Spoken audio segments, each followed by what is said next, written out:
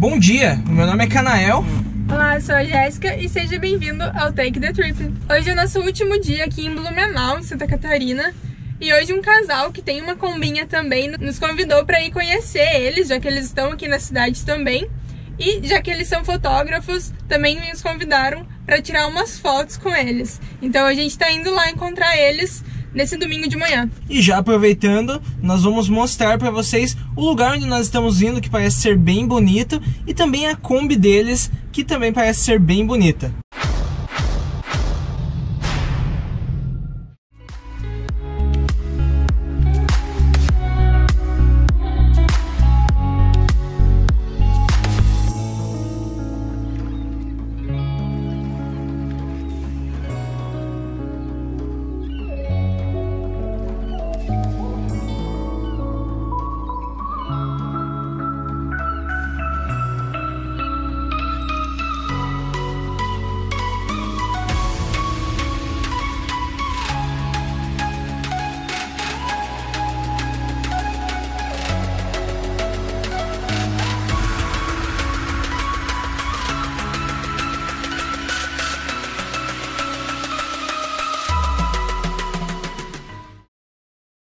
E depois de posar para algumas fotos aqui, nós sentamos para tomar um chopp. Nós estamos aqui na Das Beer, que fica em Gaspar, próximo a Blumenau. Eu tô tomando um chopp Weiss, pode ver aqui que ele não é daqueles transparente bem aguado, ele é bem bom. A Jéssica tá tomando um Pilsen, a Maia também, e o Juva tá tomando um Pale Ale para dar uma refrescada também.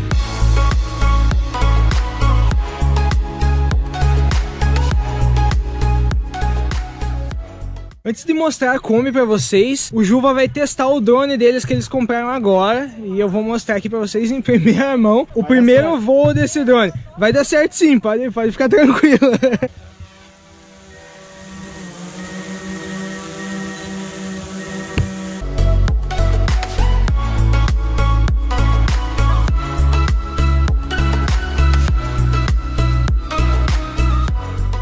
aí o primeiro voo do drone que ainda não tem nome, eles ainda vão batizar.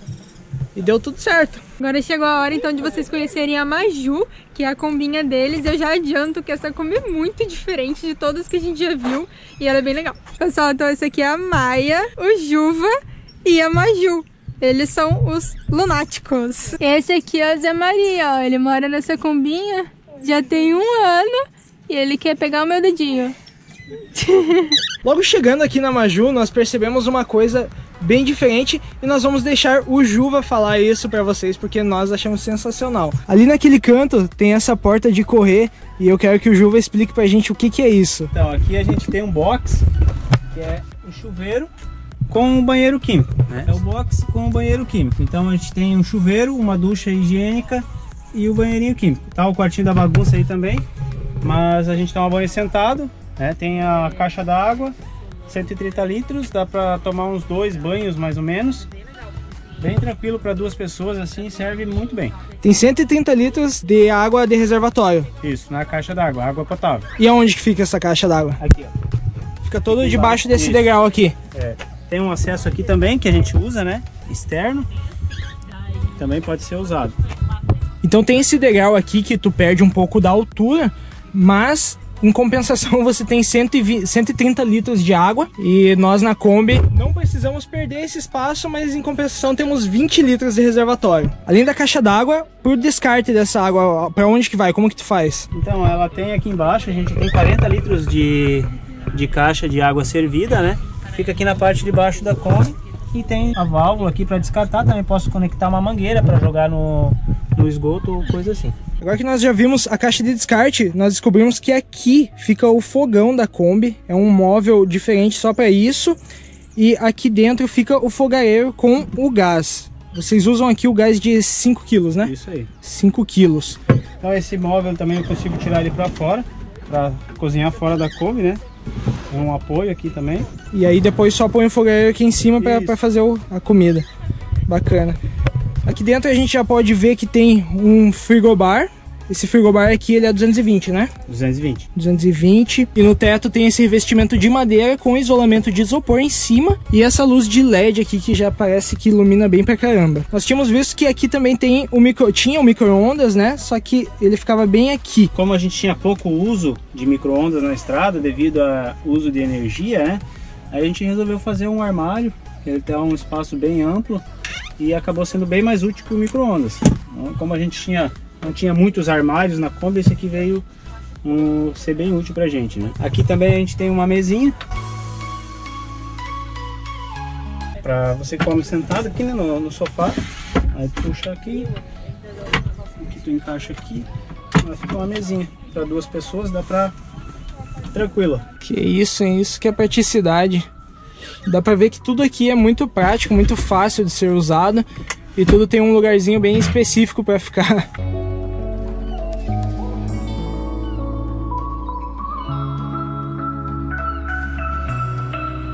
Aqui do lado fica um inversor, não sei se vai dar para ver, mas fica um inversor 110 e ele fica praticamente embutido na parede da Kombi. Dá para ver aqui que o sistema da cama deles também é diferente e eu quero pedir pro Juva explicar pra gente como que funciona esse sistema. Então aqui a montagem da cama ela é simples, não tem nada de articulação muito complexa, só vai puxar aqui, aí solta as almofadas tem duas cordinhas aqui em cima.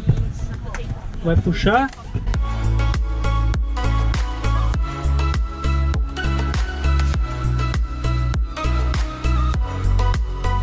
Tá pronta a cama. Caraca, velho. Sensacional. E bem simples, bem fácil. E é bacana porque é mais uma opção de cama, igual nós mostramos da Kombi Teresa lá em Curitiba. Se vocês não viram esse vídeo, nós vamos deixar aqui do lado, no bate-papo que nós tivemos com eles e mostramos. Eles têm um sistema de cama também é, bem simples, só que é diferente desse daqui. Então essa daqui já é uma opção também muito bacana. E aqui fica o pé da cama, Olha só o apoio dela e ele pode levantar aqui e dobra para dentro. Aí se precisar mexer no frigobar lá, é só levantar, dobrar esse pé e abrir a porta do frigobar tranquilamente. E depois da cama montada aqui, dá para perceber que tem uma coisa gigante lá. Isso daqui nós não vimos até hoje em nenhuma Kombi, em nenhum projeto de Kombi. E nós vamos explicar para vocês o que, que é aquilo ali. Mas antes de mostrar o que, que é aquilo lá, eu quero saber o que, que, são essas duas saídas aqui? Essa de baixo a gente tem a opção de quando a gente está estacionado em algum lugar fixo, que a gente vai ficar por mais de um dia, você conectar direto a mangueira de água numa torneira que vem com pressão da rua, você não precisa usar a bombinha 12 volts. Então você conecta aqui e ela já vai direto com a pressão da rua. E aqui é a entrada para botar água na caixa d'água, aonde você vai ter o reservatório, por exemplo, quando a gente está viajando, está na estrada, a gente usa a caixa d'água com a bombinha 12 volts. Então não precisa ficar abrindo, por exemplo, nenhum reservatório para colocar água, é só abrir essa tampa Isso. e colocar. Coloca água ali e enche. Nos postos de gasolina, geralmente eles dão. Aí quando você conecta uma mangueira aqui, ela vai direto para a pia lá dentro. A pia e pro chuveiro. Vamos lá dar uma olhada na pia então. O chuveiro a gente já mostrou. Agora vamos ver a pia. Aí a água vem por aquela entrada que nós mostramos e vem aqui para dentro nessa pia. Dá para ver aqui que tem a pia, a torneira, tem esse papel de parede aqui super lindo de Kombi e tem uma luz específica só para isso aqui em cima. A bomba que eles usam aqui não é daquelas de limpador de para-brisa, é uma bomba maior que dá muito mais pressão e olha só o barulho que ela faz quando liga e a pressão que sai lá.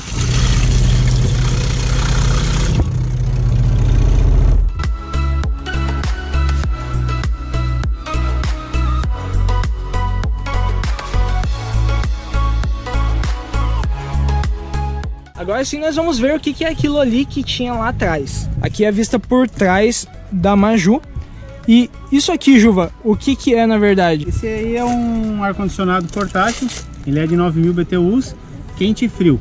É só você inverter a posição dele, ele fica quente ou frio, né? Então para estar tá viajando nesses lugares aí que dá uns 40 graus, dá para ficar sossegado dentro da Kombi? Dá, gela bem. E também pro frio, eu imagino que deve ser bom também. Esquenta, dá uma diferença boa. Embora a gente só consiga usar ele na energia, não consiga usar ele na bateria, mas ele tem sido bem útil pra gente quando a gente está em camping ou até mesmo em posto de gasolina que a gente consegue tomada, a gente usa bastante o ar-condicionado.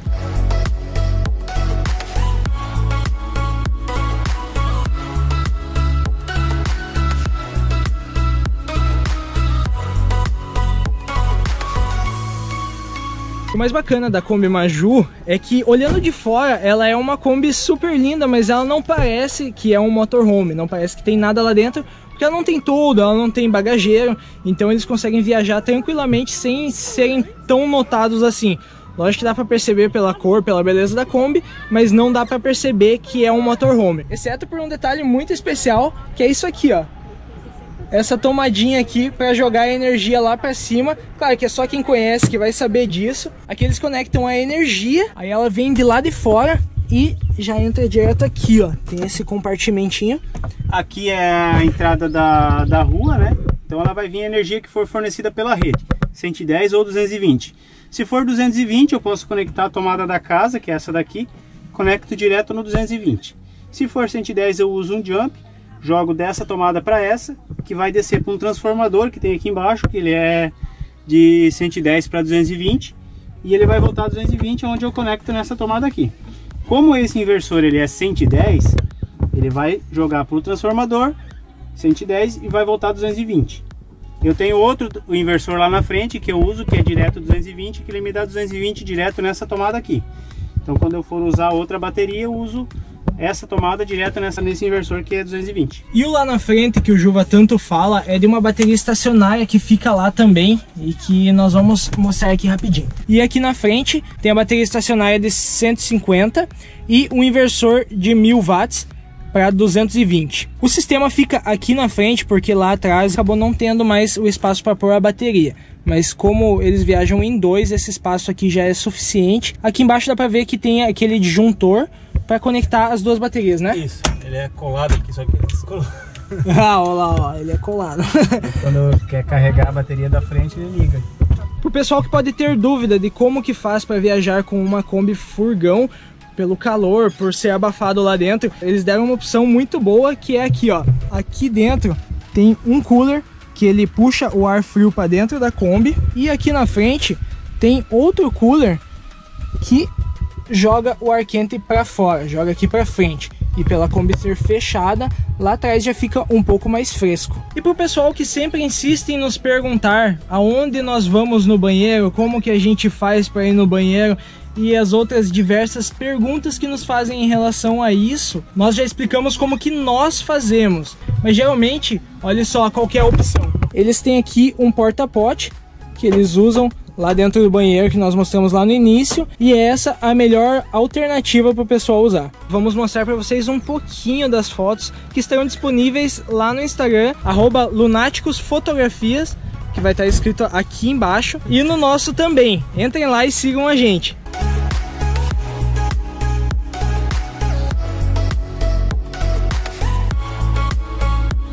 Isso aí é um spoilerzinho do que a gente fez aqui hoje, além desse vídeo maravilhoso que vocês estão assistindo. Então entra lá no Instagram e segue a gente e deixa o like nessas fotos também. Essa daqui então, como vocês viram, é a Maju e esse daqui é o casal aventureiro do Lunáticos, é o Juva e a Maia, como a gente já falou. E nós queremos agradecer a vocês por terem mostrado a Maju, por terem chamado a gente aqui para tirar essas fotos. Nós estamos ansiosos para ver o resultado. Sem pressão, tá?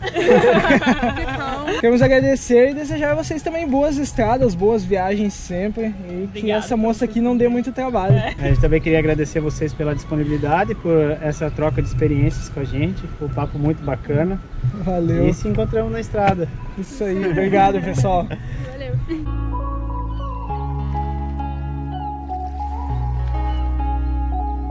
Ficamos felizes em mostrar mais uma combinha viajante aqui no canal. Vocês puderam conhecer a Maju e agora a gente se despede de vocês porque vamos trabalhar um pouquinho e vender alguns brigadeiros. Não esquece de curtir esse vídeo aí embaixo, compartilhar com um amigo que está pensando em fazer uma Kombi e mostrar para ele esse projeto super bacana. E se inscreva no canal se você não estiver inscrito.